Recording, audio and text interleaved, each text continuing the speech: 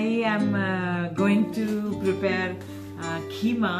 Uh, so these are the ingredients. This is uh, garlic, ginger, um, garam masala, red chili powder, jeera powder, coriander powder, and turmeric powder. And the khara masala is um, cinnamon sticks. Uh, these are cloves. These are cardamom. Try to start with these are the cut onions, one full big onion, and the two tomatoes, and some uh, cilantro to uh, garnish.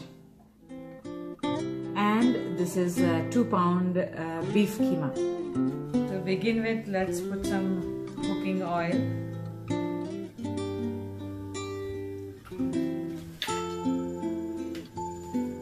Some garam masala.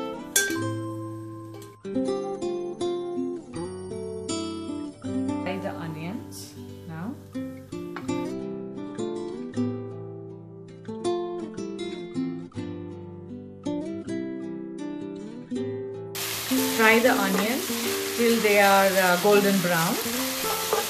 Uh, brown it little bit more and then we'll add ginger garlic now. Now um, the uh, onions are brown and now I'm going to put ginger and garlic. And I'm going to add the keema.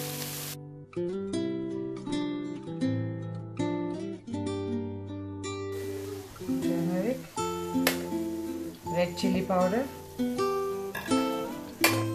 jeera powder,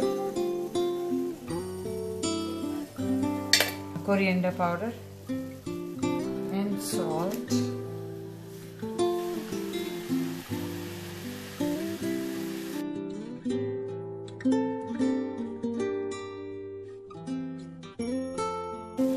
At this point, I'm going to add some potatoes.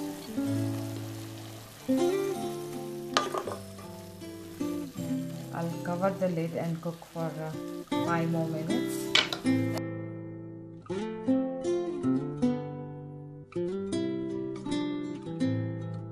First uh, try to cook uh, tomato, uh, potatoes about 3 4 and then you can add the tomato. Okay, I will add some uh, uh, lemon juice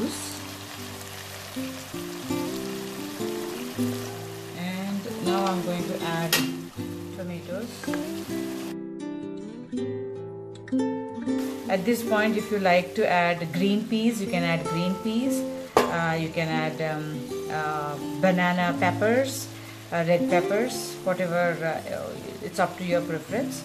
So now I would uh, put cover it and cook for another on a slow uh, heat for another 10 minutes.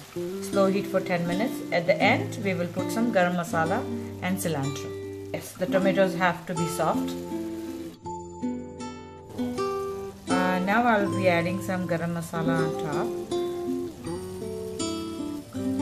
which is uh, freshly ground cinnamon, cardamom, cloves, and uh, black pepper. So the keema uh, looks like it's almost done. Uh, water was not added at all, so it was it was cooking in its own water. Potatoes are cooked, so I'm going to put cilantro on.